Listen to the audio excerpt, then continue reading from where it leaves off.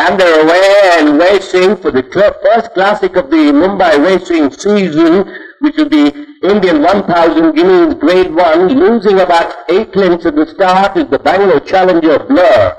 As they pass the 1400 meter marker now in the blue cap and yellow sleeves is Revelry, the leader from Dancing Image in second place, racing Thursday Zara. Leeson is on the inside as they pass the 1200 very close behind Star Girl. Ballet Bunyan on the inside, running in the center there is Venus Arising.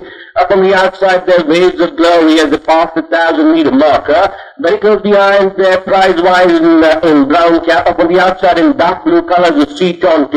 Very close behind is another Bangalore challenger in white cap is Queen of Fashion as they pass the 800. On the is there in blue sleeves, young uh, red cap their vindication. Lara Croft is there about in the center. On the outside there, Frida Kahlo making a forward move as they pass the 600. California is second last, last of all they blur.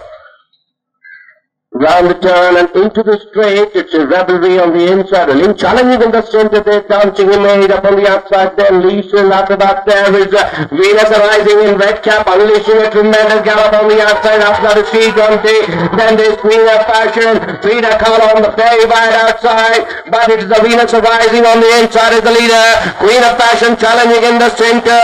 Frida Kahlo is up on the outside. Then there's Sea Gunty. It's Venus rising from Queen of Fashion.